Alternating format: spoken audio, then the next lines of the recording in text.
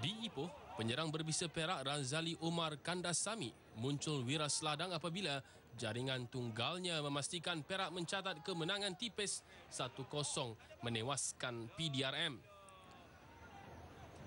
Selepas kecundang minggu lalu kepada Selangor, Perak bagaikan harimau luka berdepan PDRM dan mereka melancarkan serangan sebaik perlawanan bermula. Namun sehingga babak pertama berakhir, Perak dan PDRM terikat tanpa jaringan.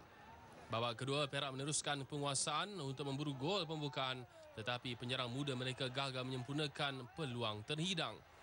Minit ke-60, penantian penyokong Yop terlerai apabila Razali Umar Kandasami mudah menghukum kealpan benteng PDRM apabila mudah menguis masuk peluang terhidang. Gol tersebut kekal menjadi pemisah antara Perak dan PDRM di Stadium Perak Ipoh.